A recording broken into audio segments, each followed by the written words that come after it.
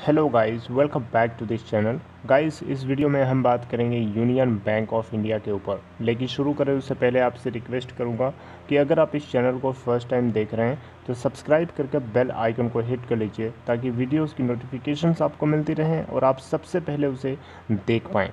Union Bank of India Friday के दिन किस तरीके की ट्रेडिंग किया, सबसे पहले हम देखते हैं, उसके बाद बात करेंगे एक इंपॉर्टेंट अपडेट के बारे में।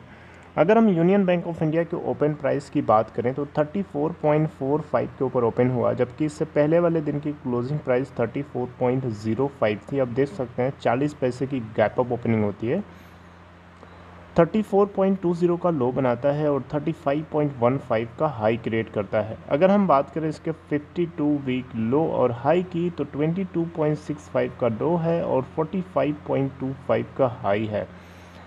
अगर हम इसके क्लोजिंग प्राइस की बात करें तो 34.90 के ऊपर क्लोज हुआ जो कि आप देख सकते हैं 2.50 परसेंट ऊपर है और 0.85 रुपए ऊपर क्लोज होता है अपने लास्ट क्लोजिंग प्राइस के रेस्पेक्ट में। अगर हम टोटल ट्रेडेड वॉल्यूम की बात करें तो 69 लाख 85,406 टोटल क्वांटिटीज ट्रेड हुई और 23.50 परसेंट की डिलीवरी उठाई गई। बीएससी के ऊपर four lakh ninety three thousand six hundred ninety seven quantities trade हुई, जिसमें से forty eight point five three percent की डिलीवरी मार्केट कैप देखें तो twenty two thousand three hundred fifty nine point eight nine crore रुपए है। Guys सबसे पहले हम बात करते हैं यूनियन बैंक ऑफ़ इंडिया के फाइनेंशियल्स के बारे में। सबसे पहले शॉर्ट में आपको बताऊँगा, उसके बाद मेन मेन पॉइंट्स के ऊपर बात करूँगा। यूनियन बैंक ऑफ़ इंडिया के अगर हम दिसंबर क्वार्टर के रिज़ल्ट की बात करें तो हम मैं ज़्यादा पैरामीटर्स के ऊपर बातचीत नहीं करूँगा। अब से सिर्फ़ दो पॉइंट्स के ऊपर बातचीत करूँगा। टोटल रेवेन्यू अगर देखें तो हम यूनियन बैंक ऑफ़ इंडिया ने twenty one thousand eight point seven crore का क्रिएट किया था। जबकि नेट प्रॉफिट की बात करें तो seven hundred nineteen point four crore का हुआ था। आप देख सकते हैं लास्ट के कई क्वार्टर से ये जो है ज़्यादा है। इवन लास्ट के आप लास्ट के दो क्वार्टर में देखें तो इनके प्रॉफिट का डेटा है 340 करोड़ और 533.9 करोड़ सितंबर क्वार्टर का ये। और इससे पहले वाला जो क्वार्टर था मार्च 2020 का तो उसमें अगर आप देखें तो यूनियन बैंक ऑफ़ इंडिया को ह्यूज लॉस हुआ था 2713 करोड़ का लॉस हुआ था। और उससे पहले भी प्रॉफिट उससे पहले भी इनको बहुत ज़्यादा लॉस तो देख सकते हैं, लगातार ये ह्यूज लॉस बुक करने वाला बैंक रहा है, लेकिन अब प्रॉफिट वाली सिचुएशन हमें लास्ट के तीन कंसिक्यूटिव क्वार्टर से देखने को मिल रही है और जो करंट क्वार्टर ख़त्म हुआ है, अभी करंट क्वार्टर क्या, अब तो ख़त्म ही हो गया क्वार्टर फोर अब इसका जो डेटा रिलीज़ होगा, उसमें भी आपको ज़बरदस्त इजाफा होता हुआ या इसके प्रॉफिट में आपको ज़बरदस्त तेज़ी होती हुई देखने को मिलेगी। ऐसा मैं इसलिए बोल रहा हूँ क्योंकि एक इंपॉर्टेंट न्यूज़ है जो आपसे डिस्कस करूँगा। अब यहाँ पे शेयर होल्डिंग पैटर्न ज़रा देख लेते हैं। यूनियन बैंक ऑफ़ इंडिया के अंदर दिसंबर क्वार्टर के लिए जो प्रमोटर्स की होल्डिंग है 89.10 परसेंट है। जिसमें से गिरवी तो नहीं है, लेकिन लॉक ज़रूर है। 78.69 परसेंट शेयर जो इनके लॉक हैं।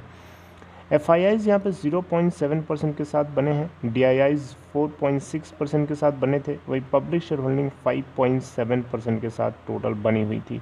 अगर आप क्वेश्चन पूछेंगे कि क्या इसमें म्यूचुअल फंड्स हैं? तो भी मैं आपको बताना ज़रूरी समझूँगा। और राइट अगर मैं म्यूचुअल फंड्स की बात करूँ तो म्यूचुअल फंड्स अपने आप में ज़्यादा एक एक, एक एक ज़्यादा ही एक वैल्यूएबल होते हैं क्योंकि जहाँ पे इनकी पोजीशन होती है वो अपने आप में कहीं ना कहीं लोगों के अंदर ट्रस्ट क्रिएट कर सकती है। ऑल ये हमेशा वैलिड नहीं होता आप देख सकते हैं यहाँ पे जनवरी और फेबररी दोनों मंथ का जो डेटा है आपसे बताना चाहूँगा। जनवरी महीने में देखेंगे तो होल्डर्स टोटल म्यूचुअल फंड्स में होल्डर्स थे 14 और बायर्स थे 6 और चार लोगों ने सेल किया था। जबकि फेबररी के मंथ में देखेंगे तो 15 ऐसे म्यूचुअल फंड्स थे जिन्होंने होल्ड किया जबकि चार ऐसे थे जिन लोगों ने बाइंग किया है। राइट right, सेलर इसमें आपको फेबररी में नहीं देखने को मिले। अब मार्च में क्या होता है आगे देखने को पता आगे पता चलेगा। लेकिन यहाँ पे इनकी स्ट्रॉन्ग बाइंग हमें देखने को मिल रही है। तो गाइज़ अब हम बात करते हैं एक इंपॉर्टेंट अपडेट के बारे में। यूनियन बैंक ऑफ़ इंडिया ने, आप देख सकते हैं यहाँ पे आपको स्क्रीन पे दिख रहा होगा। Union Bank of India launched U N I carbon card carbon card you एक एक तरीके का ये पेमेंट करने का तरीका है। यूनियन बैंक ऑफ़ इंडिया ने लॉन्च किया है, जो कि बहुत ही अच्छी बात होगी। तो ये बेसिकली जो है रुपए प्लेटफॉर्म से को ब्रांडेड है। रुपए आपको पता होगा, अगर आप यूज़ करते हो तो। ठीक है? तो ये एक यूनिक कार्ड है जो डिज़ाइन किया गया है और पब्लिक सेक्टर बैंक्स के लिए एक बहुत ही ज़्यादा यूनिक है। यूनियन बैंक ऑफ़ इंडिया और एचपीसीएल जो कि आप देख सक, आप आप समझ सकते हैं कि ये फ्यूल रिटेल में लीडर हैं। और रुपे, जो कि इंडिया का लार्जेस्ट कार्ड पेमेंट नेटवर्क है, इसके साथ में इसकी जो कॉम्बिनेशन है, वो अपने आप में रिटेल जो रिटेल कस्टमर्स हैं, उन लोगों के लिए ये काफ़ी सही रहेगा। ठीक है तो ये एक अपॉर्चुनिटी है यस इस बैंक के लिए, एक वैल्यू क्रिएट करने की कस्टमर्स के लिए भी और ख़ुद के लिए भी, यानी बैंक के लिए।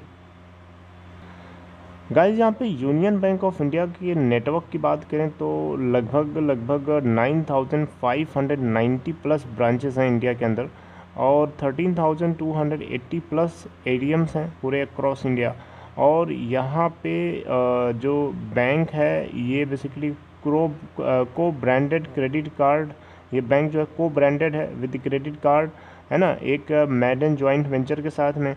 और अगर कोई कस्टमर इनके HPCL कार्ड को यूज़ करता है एच पी के ऊपर, यानी HPCL के पास में जाकर के अगर इस कार्ड को कोई यूज़ करता है तो उस केस में रिटेल आउटलेट्स के ऊपर जो कस्टमर्स को बहुत सारे फ़ायदा होने हैं। जैसे कैशबैक मिल सकता है रिवॉर्ड्स पॉइंट्स जनरेट हो सकते हैं। ठीक है? और इस तरीके से अगर किसी तरीके का फ्यूल सरचार्ज है तो उसके ऊपर वेवर भी आपको मिल सकता है। ठीक है तो ये एक अपडेट थी गाइस जो रिटेल शॉपिंग के लिए ये एक यूनियन बैंक ऑफ़ इंडिया की तरफ़ से यूएनआई कार्बन कार्ड लॉन्च किया गया है। इसके अलावा एक पॉइंट और है जिसके ऊपर आपसे बात करता हूँ। अब बात करते हैं हम गाइस पेमेंट के ऊपर, यानी यूनियन बैंक ऑफ़ इंडिया को three thousand four hundred ninety seven crore, यानी चौंतीस सौ संतानवे करोड़, यानी हम इसको पैंतीस सौ करोड़ बोलें तो आपके लिए समझना थोड़ा ज़्यादा इजी रहेगा। थर्टी फाइव हंड्रेड करोड़ रुपए जो है यूनियन बैंक ऑफ़ इंडिया को मिल सकते हैं। कहाँ से मिल सकते हैं? दिमाग में क्वेश्चन आ रहा होगा। तो आपको बताना चाहूँगा जे स्टील जो है जे एस डब्ल्यू स्टील जो है भूषण स्टील लिमिटेड को जो है एक्वायर किया है, nineteen thousand three hundred crore रुपए के आसपास के अमाउंट में। तो इसमें बहुत सारे बैंक्स हैं, बहुत सारे लार्जेस्ट पीएसयू बैंक्स हैं, जैसे कि स्टेट बैंक ऑफ़ इंडिया जिसका नाइन थाउज़ेंड करोड़ का टोटल एक्सप्रोशर है। और इसके अलावा जो है पीएनबी है कनारा बैंक है, ठीक है, ये सारे बैंक्स हैं और यूनियन बैंक ऑफ़ इंडिया भी उसमें शामिल है। तो यूनियन बैंक ऑफ़ इंडिया को चौती पैंतीस सौ करोड़ रुपए अगर वहाँ से रिसीव हो जाता है तो ये यूनियन बैंक ऑफ़ इंडिया का जो क्वार्टर फोर का जो रिज़ल्ट आएगा, उसमें आपको रिफ्लेक्ट होता हुआ दिखाई दे सकता है। ये बात आप नोटिस कर लीजिए अभी से, और आपको दिखाई दे सकता है। और क्वार्टर फोर के नतीजे आप आना शुरू हो चुके हैं, आपको पता ही है। यूनियन बैंक ऑफ़ इंडिया की बात करें तो यूनियन बैंक ऑफ़ इंडिया अभी भी आपको लोअर वैल्यूएशन के ऊपर मिल रहा है। पीबी रेशियो काफ़ी कम है इसका वन से बहुत कम है।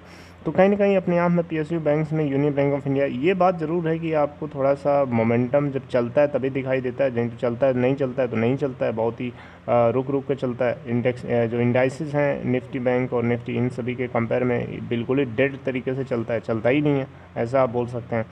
लेकिन जब चलता है तो बहुत तेज़ चलता है। अब ये यूनियन बैंक ऑफ़ इंडिया बिल्कुल उसी तरीके से बिहेव कर रहा है जिस तरीके से आंध्रा बैंक था, जब इससे मर्जर से पहले जो बैंक था। आंध्रा बैंक आपको पता होगा। तो यहाँ पे देखते हैं गाइस ये भी एक Union Bank of India Bharat के अंदर, अब बड़े बैंकों में शामिल हो चुका है, पहले की तरह नहीं है, ठीक है, और भारत सरकार जो है पीएसयू बैंक्स में से जो लार्जर पीएसयूज हैं, उनके ऊपर फोकस करना चाहती है, और देखते हैं इनकी मेन दिक्कत, जानते हैं कहाँ है? मेन दिक्कत है इनकी नॉन परफॉर्मिंग एसेट एनपीए अगर एनपीए बैंक सरकारी बैंकों की सबसे बड़ी प्रॉब्लम है, सबसे बड़ी कमज़ोरी है एनपीए और सबसे बड़ी कमज़ोरी यही है, इसी के ऊपर जो है सॉल्व करने के लिए, इसी को सॉल्व करने के लिए बैड बैंक जैसी इंस्टीट्यूशन जो है भारत देश के अंदर बनाई जानी है। और देखते हैं कि बैड बैंक कितना हद तक इन कंपनीज़ को मदद कर सकता है इन बैंक्स को बचाने के लिए। तो यूनियन बैंक ऑफ़ इंडिया के अंदर आने वाले टाइम में मोमेंटम बना आपको दिखाई दे सकता है। क्वार्टर फोर का रिज़ल्ट अपने आप में बहुत ही ज़्यादा अहमियत रखेगा, बहुत ही ज़्यादा वैल्यू रखेगा। और जिसको लेकर के इस उम्मीद के साथ हम यहाँ बैठे हैं कि ये 50 के आसपास जो है क्रॉस कर जाएगा। ऐसा देखते हैं क्या होता है, ऐसा लगता तो है, लेकिन सिचुएशन उल्टा भी हो सकती है गाइस क्योंकि आपको पता है एनपीए की सबसे बड़ी प्रॉब्लम है इन बैंक्स के साथ। और एनपीए जब तक इनके रिड्यूस नहीं होंगे, तब तक आपको कुछ भी इसके अंदर यू नो पॉजिटिव ज़्यादा देखने को मिलेगा नहीं। अब इसका क्वार्टर फोर का जो रिज़ल्ट आएगा, उसमें एनपीए भी हमें पता चलेगा और आपको अपडेट अपडेट जो है किया जाएगा। So this is all guys in this video. I hope you liked it. If you liked it, please give a thumbs up. And if you are interested to open demat account or trading account you can follow the link given in description box of this video. This is all. Take care